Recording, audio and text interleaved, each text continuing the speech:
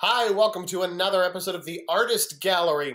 Uh, if you are one of my students, please make sure that you have your images packet and a writing utensil. You're going to want to include the images that we look at for this particular artist, either cut them out and tape them or glue them into your sketchbook or your art journal and make sure that you're taking the notes that appear in the white boxes that pop up onto the screen. I'll remind you as we get there. Also, please don't forget that we have a journal entry at the end of our artist gallery discussion today and that there will be a quiz online on the Google Classroom. So, this episode of the Artist Gallery, let me just whoop, move myself over here to the side, um, is all about American artist Kadir Nelson. Um, Kadir Nelson is a contemporary artist, and that means that he is a current artist who is working right now. Uh, his work is extremely popular. Uh, he was born uh, May 15th in 1974 in Silver Spring, Maryland. Uh, he is only in his mid 40s. Uh, and he is uh, known for paintings and illustrations that are about injustice and social change. He's done a lot of work but that is the type of work that we're going to focus on in our discussion today. Uh, so, Kadir Nelson, the award winning American author and artist, is based now in Los Angeles, California. He received his Bachelor of Fine Arts degree from Pratt University, which is an amazing art school in Bro- Brooklyn, New York. Um, when he graduated from Pratt, he was summoned by DreamWorks Pictures to create conceptual artwork for Steven Spielberg and his Oscar nominated feature Amistad and the animated feature called Spirit Stallion of the Cimarron. Uh, he is a recipient of multiple awards from the Society of Illustrators in New York, including the prestigious Hamilton King Award, as well as the 2020 recipient of the Caldecott Medal and the Coretta Scott King Award for Illustration. Now, he has won the Caldecott uh, Medal and the Coretta Scott King Award multiple times over his career. Uh, he has created artwork for a host of distinguished clients. Uh, you can see a few of them on the screen right now, uh, including but not limited to National Geographic, HBO, Nike, Disney, Hennessy, and Sony Music. His masterful artwork also frequently graces the cover of the New Yorker magazine, as well as Rolling Stone, paying tribute to historical and contemporary American figures in New York City and abroad. So let's look at uh, some more examples. But before we do that, the wonderful thing about talking about contemporary and current artists like Kadir Nelson is that we can hear directly from them as they talk about their process and their own artwork. So um, we're going to watch this video here. I'm going to myself as possible. and uh, we're going to hear Kadir Nelson talk about In downtown work. Los Angeles, the sounds of the city blend with the sounds of soul. The artist is Kadir Nelson. You may not know who he is. You should. But you'll find his work on the covers of magazines, albums, on posters, and postage stamps. Then there are the children's books, more than two dozen of them. The subjects may vary, but the theme is unmistakable. As a young kid, I didn't really see a lot of representations of African Americans. I felt like I had a self appointed responsibility to tell that story that children who would go to museums or art galleries or open their books and see images uh, that look like them and, and be proud of those images. Images like Shirley Chisholm, the first black woman elected to Congress, and baseball players from the Negro League, also civil rights activist Harriet Tubman. And then there is this portrait of Nelson Mandela, his fist raised in rebellion against apartheid. I like to choose subjects that are spiritually strong and internally strong uh, because that's how I want to see myself. So when he was commissioned to create the cover for the 90th anniversary of The New Yorker, Nelson took the publication's mascot, Eustace Tilley, and hmm. reimagined him as a contemporary African American man. A modern day aristocrat, swapping his old school eyeglass for an iPhone. How old were you when you were drawing something like that? That looks like it was from high school. He says his parents always encouraged his talent, but the inspiration for the elongated form found in much of Nelson's early work actually came from a TV show. Nelson was a big fan of Good Times and those paintings in the opening and closing credits. They were the work of artist Ernie Barnes, but passed off on the show as the art of character J.J. Evans, played by Jimmie Walker. I was probably about five or six years old, and I can see um, an African American artist on television who likes to draw and paint just like I do. He also idolized Michael Jackson. Years later, the phone rang. Michael Jackson called, and we spoke on the phone, and he told me how much he really liked, um, loved the, the Marvin Gaye paintings, and he said, I want one, uh, but about me, and I want it to be bigger. This was the result. Finished after the superstar's death, it became the cover of Jackson's posthumous album. Nelson's work is also owned by Will Smith, George Lucas, Spike Lee, and actress, director, and choreographer Debbie Allen. Kadir speaks from a place of such quiet scream, I would say. Quiet scream. I call it quiet scream because he's a quiet person. He's a gentle person, but his art is just screaming at you. It is begging you to go in and experience and feel. It was Allen who convinced Nelson to illustrate a children's book she wrote. Sassy is her name. Ever since I was born and could see, everywhere I looked, I saw dance. But these aren't just any children's books. They are some of the few that depict children of color. When a child opens a book and sees a face that looks like them, they know that they matter. This is uh, called Stick Ballers. And Nelson's paintings may look historical. He's been compared to Norman Rockwell. But look closer and you'll realize he's painting something that rarely, if ever, happened. Black and white kids playing together in the 1930s. It's not likely that that could have happened, given the times, but it's great to imagine that it could have. This is what it could have looked like had things been different. There's nothing different Kadir Nelson can imagine doing with his life. Because when that music starts to play and his subject, the late Muhammad Ali, comes into focus, his paintbrush starts to sing. I'm proud that I get to do what I love every day, to express myself creatively every day of the week. It's a pretty good gig. It's the best gig there is. Oh, there it is. Uh, it's just fantastic. So um, I want to show you a, a lot of examples of Kadir Nelson's artwork. Uh, he's done so many types of things, so we're only going to be able to pick and choose a few. Uh, but this is a very recent cover of Rolling Stone magazine. The painting on the cover is called American Uprising. It was painted just a few months ago in 2020. Uh, and this is an illustration done with oil paints. Oh, I didn't mean to do that. And so, as you can see on the cover, this is a response uh, to the killing of George Floyd and the Black Lives Matter movement that happened right in uh, the spring of 2020. He paints this immediately afterwards, responding to this uh, this horrible event. Uh, and the painting that he's done is based on a historical image of the French Revolution. So I'm going to let uh, Kadir Nelson again explain his artwork because he can certainly do it much better than I can.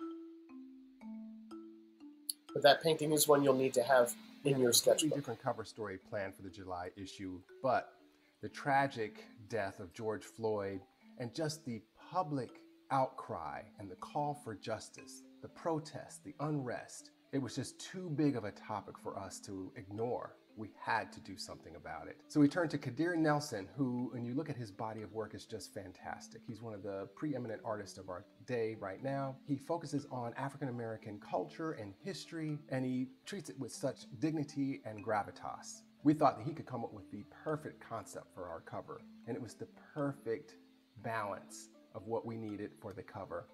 It sent a statement a call for change, but it also reflects our culture right now and what the mood of the nation and the world is right now. We need change, and this cover communicates that.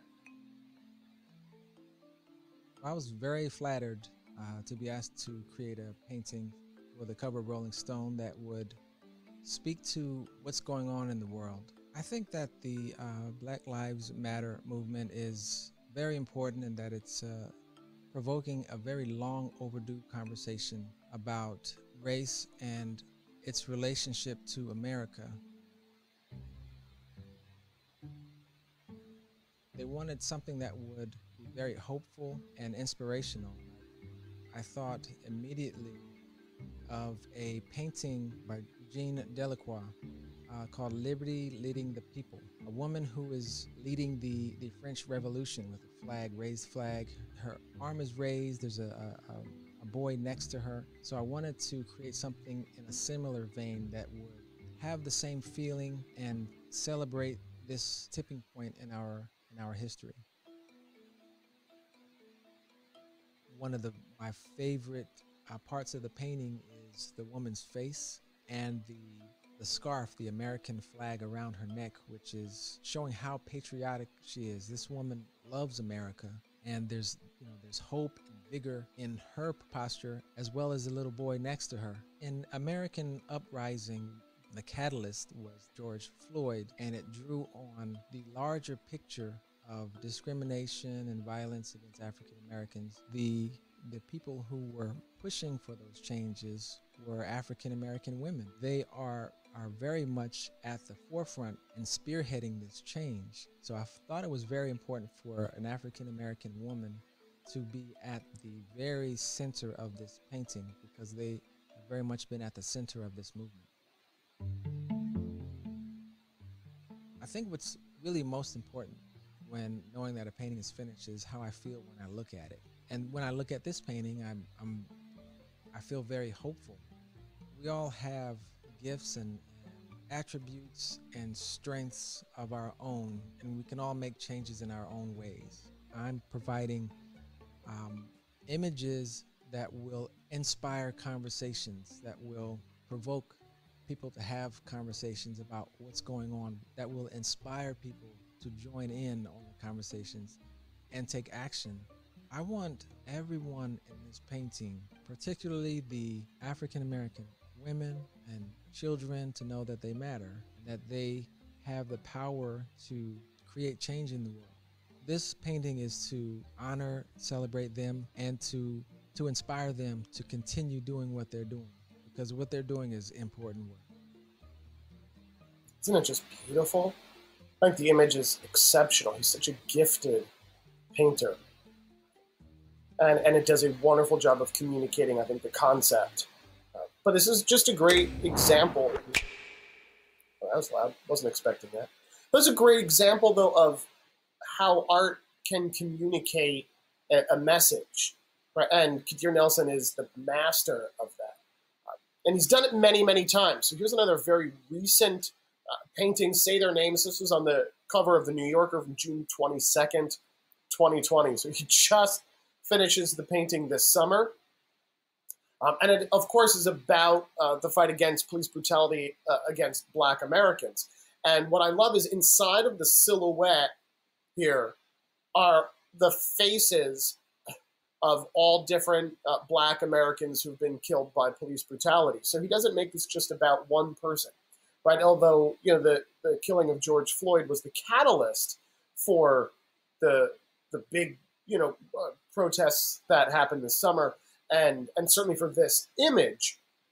But the image is about more than just that. It's showing well maybe he's the the reason why we're having this conversation now, but there's so much more that makes up uh, the, the history of what's happened in the country. So he includes that uh, as well as uh, newspaper headlines, uh, recreations of photos of some of these killings, right, included inside the body of this figure. So not only are they incredibly powerful and moving images, but they're exceptionally painted. I, I feel like his artwork is is is a combination of photorealism and and, and this kind of uh,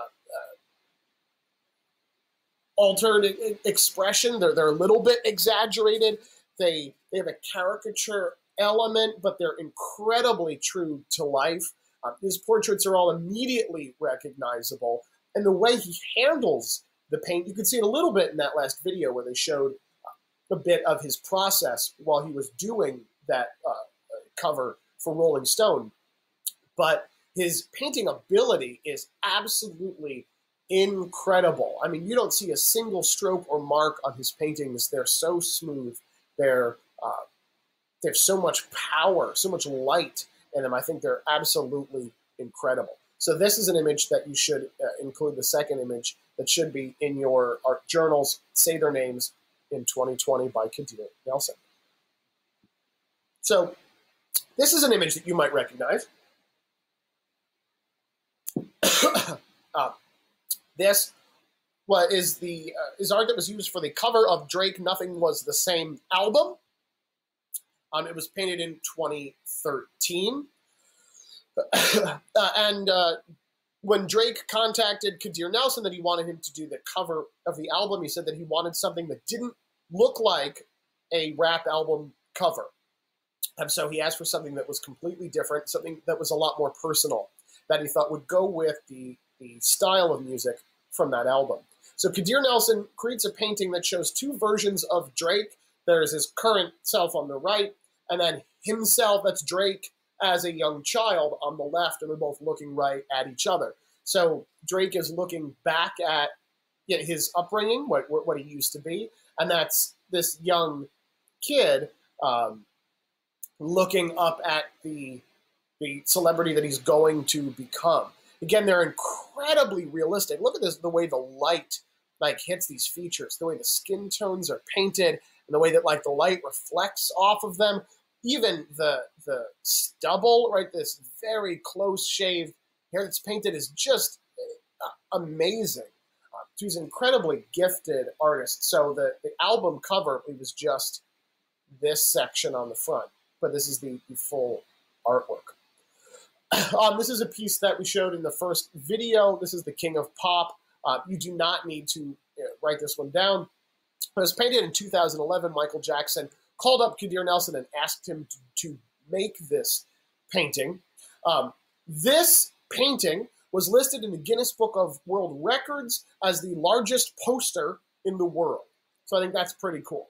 Uh, all hand painted. It's nine feet long by four and a half feet tall, and it shows uh, almost every aspect of Michael Jackson's life, starting with the, the Jackson Five, right, that are over here, uh, that are all of his siblings, right, included here. There are so many small little symbolic elements throughout the painting. They're images of Michael Jackson from his famous concerts, videos, uh, album covers, tours, uh, all sorts of images that relate to him. So I think this combination of elements is incredible. Now, unfortunately, Michael Jackson passed away before he was able to see the finished painting, so he never got to see it. Uh, but we can uh, see it now. The center section was used as a cover for the album of Michael Jackson's music that was released uh, after his death. And then the last image that I want to show you, uh, and I just included this, again, he had so many amazing artworks to show and so many uh, children's books that he's illustrated. But I chose this cover uh, for a book by Marvel Comics about the new Spider-Man, Miles Morales. The character is a half black, half Latino teenager uh, living in Brooklyn, New York, and he uh, inherits the Spider-Man powers and he becomes a new Spider-Man. and so you can see that Kadir Nelson does these incredibly realistic paintings. they're they're about things that are culturally significant between music and entertainment, right? Books, comics, uh, posters, uh, as well as as you know cultural events, which I think is just uh, amazing. And I love this depiction of the character. I think uh, he's got such a great expression on his face. He's very serious. Um, the way the fingers are splayed out, showing he's, he's you know landed right on the surface of this train car. I think it's just amazing he's he's one of my favorite current artists. I think that Kadir Nelson is absolutely incredible, uh, and I just I just love this piece of artwork. So before we wrap up our Kadir Nelson discussion, I do have the journal prompt for you. So write this into your journal after uh, you've included all of those artworks. How do you think that art can talk about current events? Uh, and what art have you seen with a social, political, or environmental message? So this doesn't have to necessarily be specifically about Kadir Nelson's work, although he does, certainly has examples of that. But what other types of artwork, you know, have you seen that, that has some kind of a message? And how do you think art can talk to us about these things? What's art's role in uh, current events and social messages? I thank you for tuning in, and I will uh, talk to you next week.